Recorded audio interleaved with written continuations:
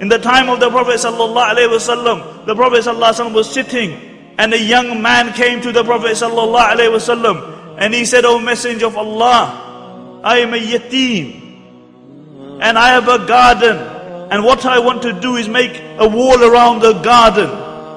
But the problem is that there is another Muslim who lives next door to me.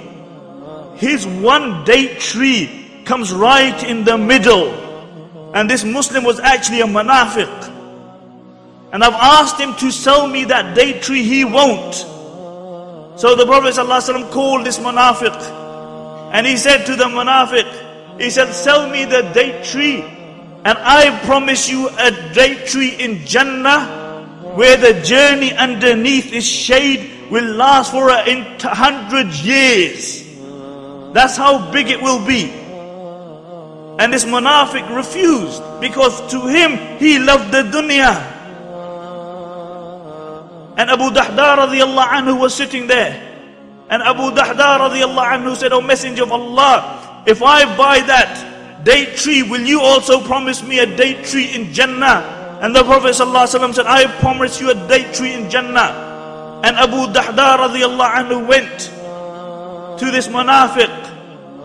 And he said to the munafiq, he said, send me that one date tree.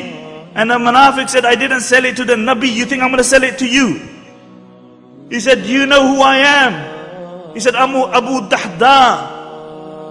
He said, do you know about my gardens? And the munafiq said, yes, who doesn't know about your gardens in Medina? Your garden is the most beautiful. 600 trees. The most beautiful water. A palace. Abu Dahda said, you give me that one date tree. I swear by Allah, I will give you my entire garden.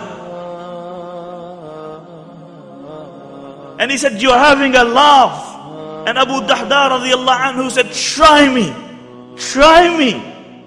And he gave him that one tree. For what? One tree for his entire garden. And Abu Dahda came back to the Prophet ﷺ and he was elated because he knew if he had a tree in Jannah, once he goes into Jannah, he's not coming back out again. And he came to the Prophet ﷺ and by then it was revealed to the Prophet ﷺ what had happened. And the Prophet ﷺ said, Oh Abu Dahda, when you went away, I promise you one date tree in Jannah. I swear by Allah, now I see that your Jannah is full of date trees.